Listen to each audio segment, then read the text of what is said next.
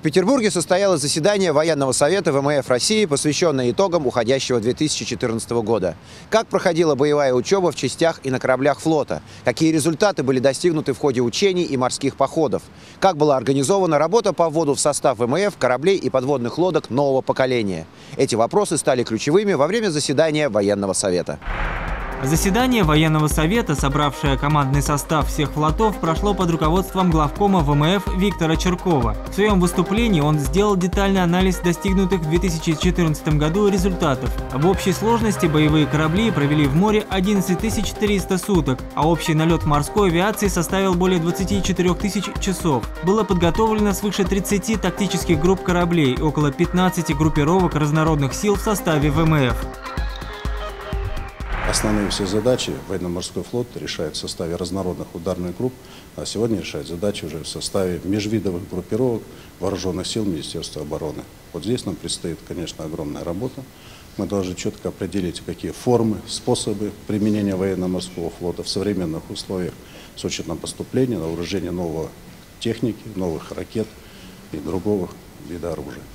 В 2014 году, подчеркнул главком, командование ВМФ сосредоточило главные усилия на повышении уровня подготовки тактических групп, отдельных кораблей и подводных лодок, воинских частей морской авиации и береговых войск. Такой акцент прежде всего связан с качественным изменением состава военно-морских сил, их оснащением новейшей техникой и передовым вооружением.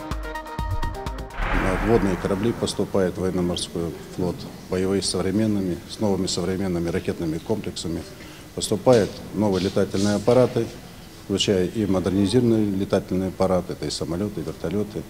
Что на вооружение у нас поступают замечательные береговые ракетные комплексы, это и Бал, и Бастион, особенно Бастион с большой дальностью стрельбы как по морским целям, так и по береговым целям.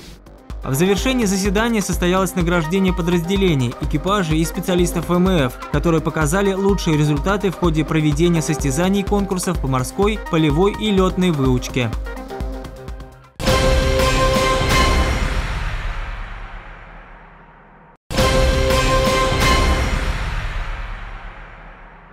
Морская индустрия России все активнее ориентируется на азиатский рынок, который сегодня развивается ускоренными темпами. Значительным шагом в осуществлении контактов с коллегами из Азии стала деловая встреча представителей российской, корейской, китайской судостроительной промышленности. В рамках встречи состоялась презентация российской компании, ориентированной на развитие и внедрение передовых технологий комплексного оборудования для кораблей и судов. Сегодня актуальной задачей для компании является выход на мировой рынок и прежде всего на Азиатско-Тихоокеанский. И в последнюю очередь это связано с санкциями, введенными против российского бизнеса. Данная ситуация, она действительно уникальная в плане того, что с одной стороны а, есть определенные сложности, а с другой э, стороны это некоторый вызов и а, возможность России развивать свою внутреннюю промышленность и смотреть на внешние рынки, в том числе азиатские, в которые, сказал, можем много чему взять как пример развития азиатских рынков. Представители этих рынков, присутствовавшие на деловой встрече, выразили большую заинтересованность в сотрудничестве с российскими коллегами в сфере научных разработок и методов их внедрения как на военных кораблях, так и на судах гражданского флота. В свою очередь, коллеги из Азии хотят представить на российском рынке собственную продукцию. Наша компания – поставщик систем для судовых жилых помещений. Мы производим четыре основные типа продукции. Это панели, противопожарные двери, санитарные кабины, иллюминаторы и оконницы.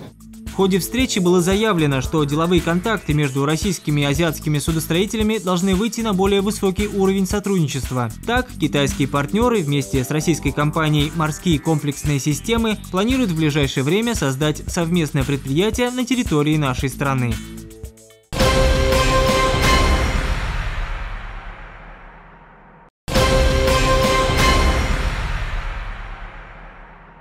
Ярмарка морских профессий для школьников прошла в Выборгском районе Петербурга. Ее формат – увлекательная игра по станциям. Участники вязали морские узлы, отгадывали зашифрованные послания и строили своими руками корабли. Цель мероприятия – популяризация морских и рабочих специальностей. На то, что в ярмарке примет участие такое количество школьников, более 150 человек из 27 общеобразовательных учреждений, Морской молодежный совет, организатор мероприятия, вряд ли рассчитывал. Нужно рассказывать, показывать ребятам. И чем а, больше и шире мы это сделаем, тем лучше. У нас проводится традиционно в районе Межвузовский день открытых дверей, но там а, не было представлено вот а, данный сегмент, скажем так, профессии. И у нас появилась такая возможность, к нам обратились с инициативой концерну «Аврора», морской, молодежный морской совет Санкт-Петербурга, и мы с радостью поддержали.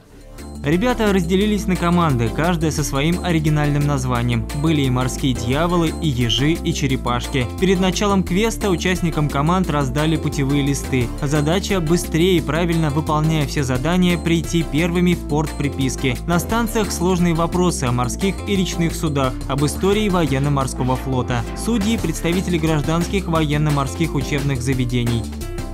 Я буду представлять великих адмиралов, э, выдающихся флотоводцев, которые как-то прославили, нашу страну. Э, вот. Тем самым я буду показывать э, пример подрастающему поколению, что стоит стремиться получать военно-морские профессии, ну не обязательно военные, также прославлять нашу страну, в доме молодежи «Форпост», где проходила ярмарка, стало жарко. Команды перемещались с этажа на этаж от станции к станции. Участники показывали свое мастерство в вязании морских узлов, делали поделки в виде моделей кораблей, соревновались на импровизированных шлюпках. Очень понравилось. Здесь все любопытно, много нового можно узнать э, и понять для себя. На первый взгляд развлечение, но на самом деле профориентация подрастающего поколения в сфере морских специальностей. Я считаю, что эта ярмарка – это в первую очередь очень интересный эксперимент для школьников. Они узнают много нового, а, они расскажут, заявят о себе уже как люди, которые как-то относятся к морю. Ярмарка морских профессий стала важным, ярким и запоминающимся событием. Организаторы надеются, что подобные мероприятия будут проведены и в других районах города. У нас есть договоренность с Адмиралтейским районом, у нас есть договоренность с Кировским районом. Надеемся выйти на Красносельский район, а, а также это Петроградский район, Невский район. Но там все это проще, поскольку там есть базы, есть морские классы, но уже мы отклик получили. В следующей очереди Адмиралтейский район и градообразующее предприятие – это Адмиралтейские верфи. По итогам мероприятия организаторы вручили участникам призы и подарки от правительства Петербурга и спонсоров мероприятия, предприятий судостроительной отрасли.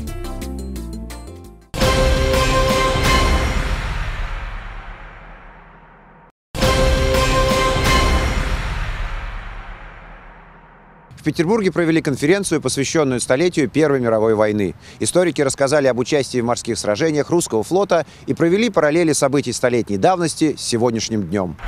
Конференция была организована Всероссийским движением в поддержку флота. В морском корпусе Петра Великого развернули экспозицию, посвященную ключевым событиям Первой мировой войны на море. Во встрече приняли участие представители морского корпуса Петра Великого, ученые и историки. Они рассказали о ключевых событиях с участием флота Российской империи на морском театре боевых действий. К моменту начала войны русский флот возродился и стал одним из самых крупных были реализованы две кораблестроительных программы, малая и большая. Две. И флот фактически вступил э, в войну готовым. То есть те задачи, которые были поставлены перед флотом на Первую мировую они были выполнены. И э, единственное, что э, российский императорский флот не смог сделать, это захватить Черноморские проливы для выхода в Средиземноморье. Основные события для русского флота развивались на Черном и Балтийском море. На Балтике военные моряки защитили Петербург и не допустили высадки немецкого десанта. На Черном море активно противостояли турецким кораблям и в конце концов установили контроль над акваторией. Но революция и последующая гражданская война стали катастрофой для флота Российской империи. Изрядно досталось Балтийскому флоту. Черноморский и вовсе был потерян. У нас э, не оказалось кредитов на получение патронов снарядов из-за рубежа нам нечем было снабжать флот и армию. Поэтому вопрос собственной промышленности, собственных научно-технологических разработок, он также ключевой и в 21 веке. Конференция, посвященная урокам Первой мировой войны, их значению для морской деятельности в современных условиях, не единственная. Движение в поддержку флота планирует провести еще три таких мероприятия, которые наиболее полно раскроют все сложные вопросы не только столетней давности, но и перспективы развития отечественного флота в будущем.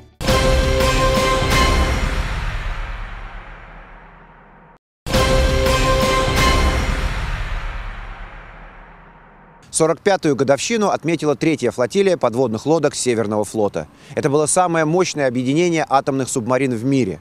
Подводники флотилии осваивали первые отечественные ракетоносцы, испытывали новое оружие, совершили сотни дальних океанских походов и напряженных служб.